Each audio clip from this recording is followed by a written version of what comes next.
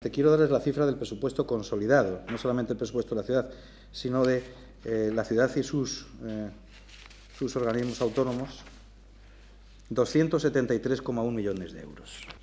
Los 273,1 millones de euros, pues el, 79% se corresponde con eh, gasto corriente y 56, casi 60 millones pertenecen a la categoría de gastos de capital, entre los cuales se incluye la amortización de la deuda por el valor de 31,1 millones de euros.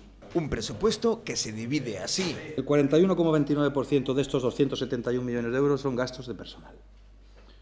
41,29% son gastos de personal.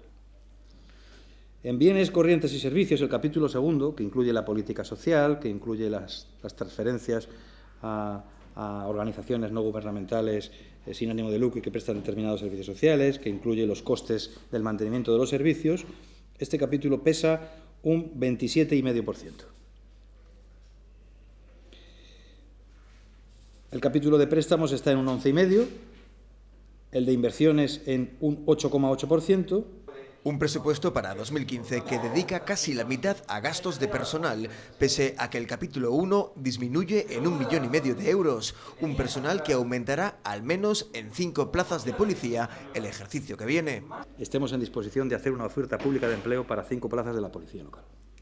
Unas previsiones de gastos que otro año más hacen especial énfasis en la política social. Lo que es lo que llega de verdad a quien lo necesita, estamos hablando de más de 16 millones de euros en políticas sociales de atención directa.